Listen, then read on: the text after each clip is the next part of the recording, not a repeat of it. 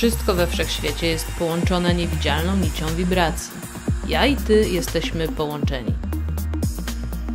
Jeżeli przez swoje myśli umiejętnie wprowadzisz się w stan pozytywnych emocji, zaczynasz świadomie działać, co podnosi Twoje wibracje. Przez sposób, w jaki myślimy, odczuwamy i działamy, możemy wnieść wiele dobrego nie tylko do najbliższego otoczenia, ale też do zbiorowej świadomości. Wysokie wibracje przyciągają więcej pozytywnych zdarzeń do Twojego życia. Dlatego dziś zadbajmy wspólnie o to, aby podnieść poziom Twoich wibracji.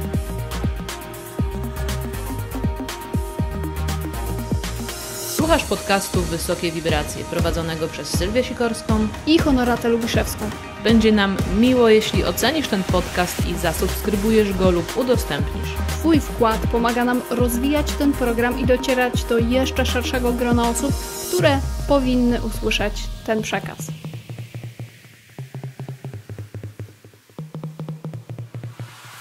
Nasze ciało, podobnie jak nasze emocje, mówi nam bardzo wiele, zwłaszcza o relacji z samą sobą, samym sobą. Twoje ciało komunikuje ci więc bardzo dużo informacji na Twój temat. Natomiast ponieważ Twój umysł prawdopodobnie mocno wyćwiczył się w tym, aby nie słuchać swojego ciała i odczuć, które się w nim pojawiają, to może przez to w efekcie powodować różnego rodzaju dolegliwości lub też gromadzić nadmiar kilogramów. I o tym, co nadmiar kilogramów, między innymi mi i Honoracie, powiedział więcej o nas samych i czego nas też nauczył, opowiemy dzisiaj więcej.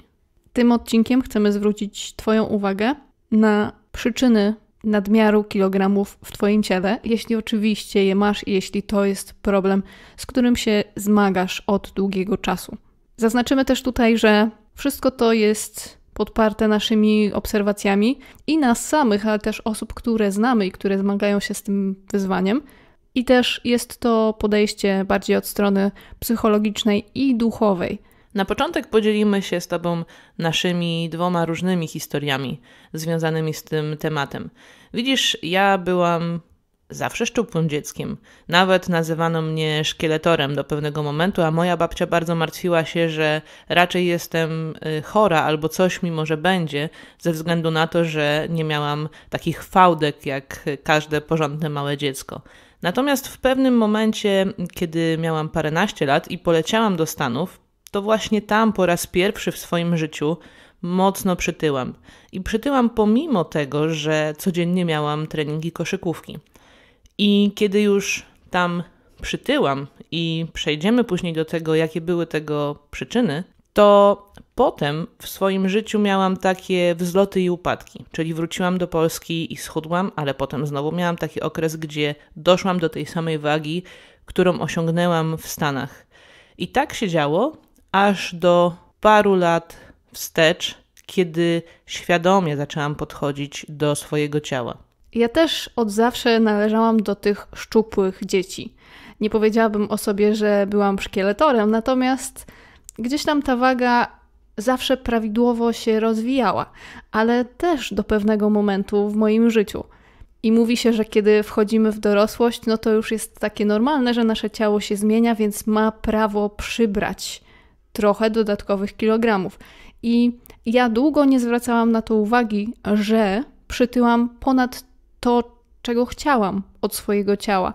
I gdzieś tam zaczęłam się na to frustrować, kiedy patrzyłam na siebie w lustrze i jednak te rozmiary, które nosiłam do tej pory, nie były tymi, które chciałam nosić. Więc moja motywacja nie do końca była dobra, ale zaczęłam się w jakiś sposób odchudzać. Najpierw to oczywiście były różne diety, mm, później do tego dokładałam ćwiczenia, ale gdzieś tam po drodze szybko ta motywacja gasła. W związku z tym to doprowadzanie się do takiej wagi, która by mi odpowiadała, nie było skuteczne. Aż też w momencie, kiedy dotarłam do tego prawdziwego powodu, dla którego gromadziłam te kilogramy w swoim ciele, to dopiero wtedy moja motywacja się zmieniła. I wtedy znalazłam sposób dla siebie, o którym pewnie powiemy jeszcze podczas tego odcinka, który pomógł mi wdrażać konsekwentne nawyki. To, co jest ważne, myślę, i od czego powinnyśmy wyjść, to to, że Twoje ciało, moje ciało ma powód, dla którego gromadzi nadmiar kilogramów. Ten powód nie do końca i nie od razu może być dla nas jasny. Tym bardziej dla osób, które od dziecka mają wyzwanie z otyłością, ten powód jest bardzo głęboko zakorzeniony w podświadomości, na tyle, że oni po prostu go nie widzą, bo to są emocje i to są myśli, które są przed Twoją świadomością głęboko ukryte. One nie chcą się pokazać, bo tak Tobie jest wygodniej. Jakie to mogą być powody? Zobacz. Na przykład, jeżeli byłaś dzieckiem, które było chwalone za to, że zjada wszystko z talerza i wtedy czułaś akceptację swoich bliskich, to to może być jeden z ukrytych powodów, dla którego dzisiaj też, mimo tego, że nie potrzebujesz aż tyle jedzenia, to będziesz zjadać zawsze wszystko to, co jest przed tobą postawione. Inny powód, i to mówię na swoim przykładzie, co odkryłam podczas pracy z moją podświadomością i doszukiwania się tej potrzeby gromadzenia, to był brak poczucia bezpieczeństwa. Ja zaczęłam tyć w momencie, kiedy wyprowadziłam się z rodzinnego domu, kiedy zaczęłam budować swoją firmę i to, że podjadałam albo jadłam więcej, albo jadłam w restauracjach zamiast gotować sobie w domu i różne inne nawyki do tego doszły, to dawało mi poczucie bezpieczeństwa i takie przekonanie, że ja sama sobą umiem się zaopiekować. Hmm, to jest ciekawe, dlatego że kiedy przyjrzałam się już jakiś czas temu swojej historii tego przybrania na wadze, kiedy byłam w Stanach, to to był też jeden z głównych powodów, czyli brak poczucia bezpieczeństwa. Pierwszy raz w życiu poleciałam gdzieś daleko i nie miałam w, obok siebie swoich bliskich czy znajomych i po prostu trochę straciłam grunt pod nogami. Nie mogłam mieć z nimi kontaktu, a więc no, zajadałam tak ten brak poczucia bezpieczeństwa. Kolejnym takim powodem, dla którego możesz gromadzić nadmiar, to jest mm, taka forma okazywania czułości. Dlatego, że w wielu rodzinach, na przykład tak jak patrzę na mojego tatę, to jego rodzice okazywali mu, zwłaszcza mama, emocje w postaci miłości, właśnie gotując dla niego. Więc dzisiaj, kiedy on chce poczuć taką głęboką miłość nawet do siebie, to co robi? Idzie, kupuje sobie kawałek hałwy, całe pudełko ptasiego mleczka czy jakieś inne rarytasy. To zastępuje mu właśnie okazanie sobie miłości. Co ciekawe, to ja też u wielu osób zmagających się z nadwagą obserwuję, że one jedzą dużo, dlatego że w ten sposób zastępują sobie takie dawne odrzucenie siebie. W pewnym momencie te osoby zrezygnowały ze swoich pragnień, ze swoich aspiracji, ze swoich planów i poddały same siebie. W związku z tym dziś dużo jedzą, zajadają to odrzucenie, żeby poczuć taką bliskość ze sobą ponownie. I to jest taki mocny paradoks, dlatego że te osoby nie chcą przyznać się przed sobą, że poddały siebie i swoje plany na życie gdzieś po drodze. Kolejnym powodem tego, że ktoś przybiera na wadze, może być takie stałe tłumienie emocji. Czyli na przykład, jeżeli jesteś wychowywana w taki sposób, gdzie ktoś ci mówi nie krzycz, nie płacz, albo pokazuje ci, że twoje emocje nie są istotne, że są gdzieś na ostatnim miejscu, to wzrastając w takim przekonaniu, potem właśnie zaczynasz się chronić. Poza tym, jedynym takim miłym elementem dla ciebie może być na przykład jedzenie słodyczy, czy też po prostu jedynym spokojnym momentem, kiedy też ktoś cię słucha i skupia na tobie uwagę, właśnie będą te obiady czy kolacje rodzinne. Ale też do tego tłumienia emocji dodałabym to, co już zaczęłaś mówić, czyli że jest to jakaś forma na przykład niewyrażonego gniewu czy niewyrażonych potrzeb. I w ten sposób Twoje ciało zachowuje w sobie te wszystkie emocje, nie przepuszcza ich przez siebie, więc w różnych miejscach Twojego ciała je po prostu sobie zachowuje w formie tłuszczu. I to jest też taka forma zbroi. To też jest taki kolejny powód, dla którego może Twoje ciało chcieć gromadzić te kilogramy, żeby przybrać jakąś formę zbroi czy też muru, aby przez te niewyrażane emocje też nie dopuszczać innych emocji do siebie, innych emocji płynących od innych osób. To jest y, fajne teraz, co powiedziałaś i bardzo ważne. Ja też obserwując siebie wiem, że takie momenty, w których ponownie przybierałam na wadze już po powrocie ze Stanów, kiedy miałam te dwadzieścia parę lat, to właśnie były momenty, w których przestałam wyrażać swoje emocje i obudowywałam się taką zbroją.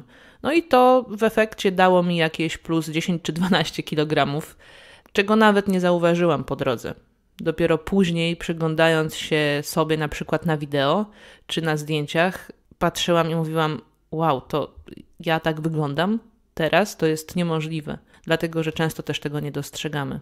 I jeszcze inny powód, jaki sobie obserwuję, szczególnie u mężczyzn, którzy zmagają się z nadwagą, to jest taka potrzeba poczucia wielkości i wyższości nad innymi. I wtedy takie osoby też gromadzą tłuszcz, właśnie po to, żeby pokazać innym, że są od nich więksi, że są od nich lepsi, że wiedzą więcej, że osiągnęli w życiu więcej. To też się dzieje, jak sobie tak popatrzę na takich facetów, których znam, a którzy mają wyzwanie z nadwagą. I poczuciem własnej wartości. Tak, i poczuciem własnej wartości. To się dzieje u takich mężczyzn, którzy jako dzieci byli wychowywani na przykład przez takiego mm, ojca, który nie dostrzegał ich potrzeb i też wychowywał ich na twardzieli, nie uznawał w nich tej miękkiej części, takiej emocjonalnej, albo były to rodziny, gdzie był matriarchat i matka po prostu miała tak silną rękę w tej rodzinie, że jedyna forma, w jakiej oni mogli wyrażać swoje emocje, to znowu było jedzenie.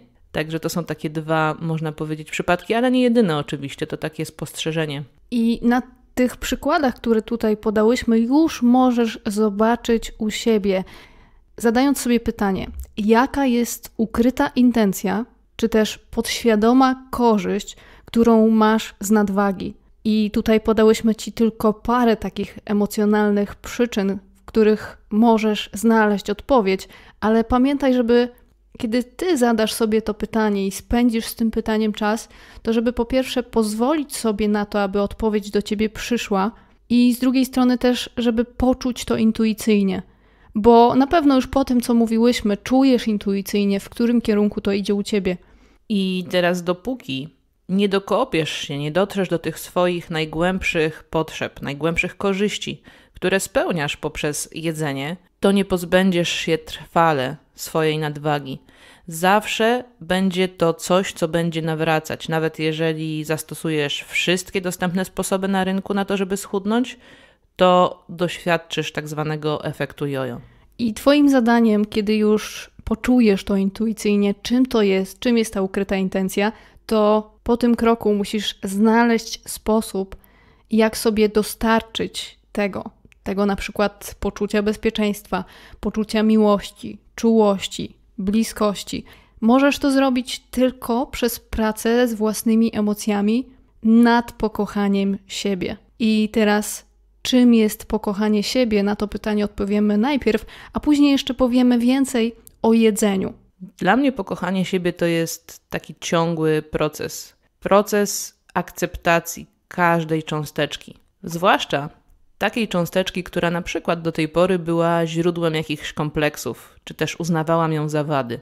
Do tego, co powiedziałaś, dodałabym, że to też jest poza ciągłym takim przypominaniem sobie, też ciągła uważność i dawanie sobie czułości, szczególnie właśnie w tych aspektach, które nam się w nas nie podobają. Kiedy warunkujesz w jakiś sposób miłość do siebie, bo mówisz sobie na przykład, że twoje ciało ci się nie podoba i chcesz je na siłę zmieniać przez różne diety, przez różne ciężkie ćwiczenia, to nie ma w tym pełnej miłości do siebie. I właśnie dlatego wtedy musisz skierować się na tą przyczynę, skąd to wynika, czego tobie brakuje i czego sam i sama sobie nie zapewniasz. Gdy już akceptujesz siebie w pełni i pokochasz siebie, wtedy masz zupełnie inną motywację do schudnięcia. Ta motywacja nie jest przede wszystkim oparta na zewnętrznych czynnikach, na przykład tego, aby się komuś podobać, czy żeby być na przykład podobnym do kogoś. I przede wszystkim w tej motywacji nie ma oporu, bo zobacz, są różne rodzaje motywacji, kiedy tak bardzo chcesz się zmienić, dlatego że się sobie nie podobasz, dlatego że chcesz być bardziej jak ktoś inny, to wtedy w swoich wibracjach i w swoim ciele budujesz jeszcze większy opór, bez względu na to, czy jesz inaczej, czy w ogóle nie jesz, czy męczysz to ciało jakimiś trudnymi ćwiczeniami i ogromnym wysiłkiem.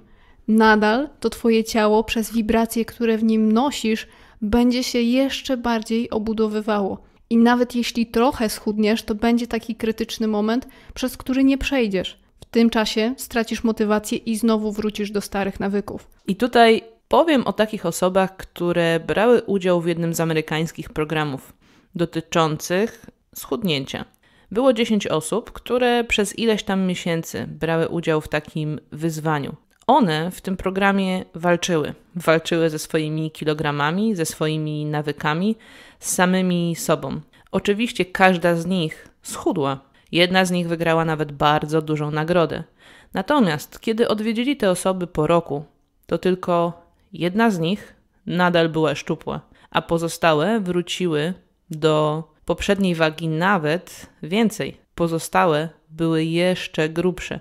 Przyczyną było właśnie to, o czym przed chwilą mówiłyśmy, czyli to, że te osoby walczyły i zamiast y, mieć zupełnie inną motywację i intencję, to ich intencją była ta walka ze sobą. Było odseparowanie się tak naprawdę od siebie, od siebie w tej wersji, której nie akceptowali. Dzieje się tak przede wszystkim dlatego, że człowiek w swojej naturze ma potrzebę wracania do tego, w czym czuje się dobrze. To przede wszystkim. A po drugie, kiedy działasz przez opór, to ten opór tworzy jeszcze więcej tego, czego nie chcesz. No i to jest w prawie wszechświata. To jest to prawo przyciągania, między innymi. Zastanów się teraz, jaka jest Twoja motywacja. Czy chcesz schudnąć, żeby stać się szczęśliwą osobą?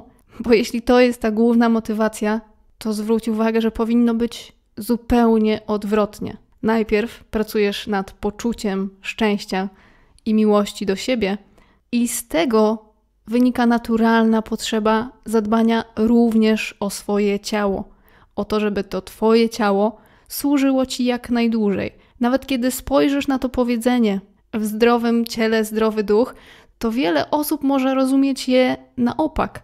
Czyli, że najpierw trzeba mieć zdrowe ciało, żeby mieć zdrowego ducha, a tu powinno się zacząć od tego ducha, właśnie, i naturalnie przejść do ciała. Celem duszy jest to, aby codziennie podnosić swoje wibracje. Chcesz zacząć w łatwiejszy sposób komunikować się ze swoją duszą i duchowymi przewodnikami? Potrzebujesz odkryć niewspierające cię przekonania i uzdrowić je trwale i skutecznie? Pragniesz nauczyć się korzystać ze swojej intuicji, by podejmować decyzje wspierające Twoje wyższe dobro? Odwiedź stronę duchowekursy.pl i sprawdź ku czemu prowadzi Cię Twoje serce. Wsłuchaj się w swoją intuicję i wybierz najlepsze wsparcie w Twoim rozwoju. duchowekursy.pl Obiecałyśmy Ci też, że powiemy trochę więcej o jedzeniu i też jak to wszystko funkcjonuje, jeżeli chodzi o nadwagę. Więc zobacz, każdy człowiek, kiedy bierze do ręki, a potem do ust jakieś jedzenie, to o tym jedzeniu myśli w jakiś sposób. Na przykład, kiedy biorę do ręki babeczkę z truskawkami, to mogę o niej myśleć, że słodkie tłuczy. Nawet kiedy mówimy, że pójdzie w cycki, to i tak bardzo głęboko wierzymy, że po prostu ta babeczka zostanie nam w biodrach. A więc, gdy masz pewne przekonanie, tworzysz też jakąś wibrację. Na przykład taką wibrację, że jedząc ciastko, przytyjesz. No i to dla ciebie będzie zawsze działało w ten sposób. I zamiast mieć wdzięczność i radość z tego, że jesz bardzo dobrą babeczkę, będziesz mieć w sobie poczucie winy, że jesz coś, co spowoduje, że zaraz przytyjesz. Z drugiej strony, kiedy wierzysz, że to, co możesz zjeść w tym momencie, nawet jeśli to jest słodka babeczka, że to po prostu jest dla ciebie radość i w ogóle nie zastanawiasz się nad tym, czy od tego przytyjesz, czy nie, po prostu nie ma takiej emocji w tobie i takich myśli w tobie, no to możesz jeść dużo takich rzeczy i nadal one nie będą odkładały się w Twoim ciele. I jestem pewna, że jeśli masz problem z nadwagą, to znasz dużo takich osób, które przy Tobie wcinają wszystko i wydaje się, że nie mają dna, a i tak są szczupłe. To się dzieje właśnie dlatego, że te osoby nie mają takiej relacji z jedzeniem na zasadzie to mi szkodzi, tylko wręcz odwrotnie skupiają się na tym, co im służy. I co ciekawe, tych przekonań i myśli, które tworzą takie wibracje, które powodują, że jedzenie dla ciebie jest powodem nadwagi, jest wiele, bo nawet takie przekonanie, które na przykład u mnie w rodzinie było i jest nadal przekazywane facetom, to to, że zobaczysz, do trzydziestki to możesz żreć ile chcesz, ale po trzydziestce na pewno przytyjesz. I pamiętam, jak mój tata, który rzeczywiście po trzydziestce mocno przytył, do trzydziestki był bardzo szczupły, mówił to mojemu bratu. I powtarzał mu to i powtarzał, bo on bardzo dużo jadł i je zresztą do tej pory. I zawsze mu mówił: Słuchaj, zobaczysz, po trzydziestce to ty tak przytyjesz, że cię nie poznamy. No, y, jest już po trzydziestce, nadal nie widzę, żeby przytył, ale to też y, ma powód w tym, że on nigdy nie myślał o jedzeniu właśnie w taki sposób, że może spowodować przytycie. Zawsze jedzenie traktował jako coś zdrowego i tak naturalnie podchodził do tego tematu, nawet w sposobie, w jaki jadł. Zawsze jadł wolniej niż cała nasza rodzina i zawsze inaczej dzielił sobie jedzenie na talerzu. Powstaje pytanie, jak poradzić sobie z tymi przekonaniami, które mamy zakorzenione w podświadomości odnośnie jedzenia. To nie jest tak, że dzisiaj sobie powiesz, że jesz babeczkę i ona ci służy, no bo podświadomie w to i tak nie wierzysz, to jest w tobie zakodowane. Dlatego potrzeba małych, konsekwentnych kroków, które sprawią, że regularnie będziesz działać w kierunku zdrowia swojego ciała. Przez takie małe i konsekwentne kroki będziesz też budować do siebie większe poczucie zaufania i sprawisz, że ta motywacja będzie rosła i będzie w kierunku czegoś, a nie jako ucieczka od czegoś innego. I tutaj odpowiedz sobie na pytanie, w co wierzysz, że jest zdrowym nawykiem. Na przykład możesz zacząć od dokładania sobie w ciągu dnia jakiegoś zdrowego owocu do swojej diety. Warto też dla samej siebie, dla samego siebie wypisać sobie, co dla ciebie jest zdrowym jedzeniem. Obecnie, co uważasz za zdrowe, a co uważasz za szkodzące ci. Nawet z obserwacji swojego ciała, ale też z tego, co słyszysz. I kiedy zrobisz sobie, i kiedy zrobisz sobie takie listy, to przyjrzyj się temu i też poszukaj, czyje są przekonania na temat tego, że dane jedzenie jest zdrowe lub nie. Może się okazać, że na liście zdrowych różnych produktów będą rzeczy, które zupełnie mogą ci nie służyć, ale twoje przekonanie o tym, że one są zdrowe, na przykład możesz mieć przekonanie, że mleko dla ciebie jest zdrowe, a może okazać się, że twój organizm w ogóle tego mleka nie przyswaja i to powoduje różnego typu problemy, plus de facto wpływa też na gromadzenie tłuszczu w twoim organizmie. Jeśli słuchasz tego podcastu już do tego momentu, to z pewnością jesteś taką osobą, która próbowała już wszystkiego. Czyli próbowałaś różnych diet, różnych ćwiczeń, różnych sposobów motywacji. Planowałaś sobie być może już posiłki, być może już robiłaś takie listy, które są dla ciebie tym zdrowym jedzeniem, ale nadal z jakiegoś powodu nie możesz się do tego przekonać lub to nie jest trwałe. To też może pokazywać ci, że cały czas wracasz do tego nawyku zaspokajania sobie potrzeby, wypełnienia tej pustki, emocjonalnej pustki. Dlatego to jest tak ważny pierwszy krok, żeby dotrzeć do tego powodu, który sobie zaspokajasz, bo nawet jak już będziesz miała rozpisane te małe kroki, to i tak ta potrzeba wypełnienia tej dziury będzie zawsze pierwsza. Bo kiedy doprowadzasz się do takiego silnego głodu, to zawsze to wygrywa, że bierzesz pierwszą lepszą rzecz, która jest właśnie pod ręką, a zwłaszcza jeśli pracujesz gdzieś poza domem, no to łatwo jest pójść do sklepu i kupić coś niezdrowego, coś na szybko. Więc tutaj też popracuj nad tymi przekonaniami dotyczącymi jedzenia i zapewnij sobie te małe kroki. I tutaj też właśnie bardzo ważna jest ta uważność, nie tylko na przekonania, ale na wyłapywanie takich momentów, w których uruchamia się w tobie automatyczne zachowanie, czyli możesz już właśnie ćwiczyć, możesz już mieć, nie wiem, dietę pudełkową, możesz już mieć inne różne małe kroki, ale dzieje się coś, co uruchamia w tobie chęć na przykład pójść i zjeść, nie wiem, całą pizzę w pojedynkę, albo pójść do lodówki i wziąć pierwszą lepszą rzecz, plus jeszcze napój gazowany i usiąść i to wszystko zjeść naraz. To jest ten moment uważności, w którym małym krokiem będzie też zadanie sobie pytania, co tak naprawdę teraz powoduje, że chcę to zrobić. I to jest fajne, co powiedziałaś. Ja nawet widzę po sobie, kiedy już dotarłam do tej swojej głównej przyczyny, to też zaczęłam zauważać, jakie mam automatyzmy. I na przykład automatyzm numer jeden, no to kino i koniecznie popcorn. Albo kiedy mecz, no to koniecznie chipsy i piwo. Kiedy kawa, no to ciastko. To idzie w parze, na przykład u mnie.